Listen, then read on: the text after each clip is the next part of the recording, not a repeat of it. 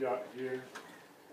So uh, we're getting all set up for a faux music video, kind of an 80s uh, style music video that Ross's character, it's the thing that made him a viral success.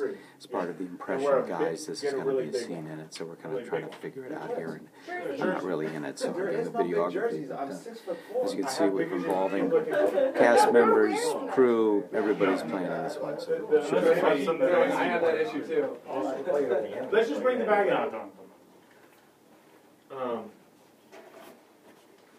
Alright, so we're back over here, and,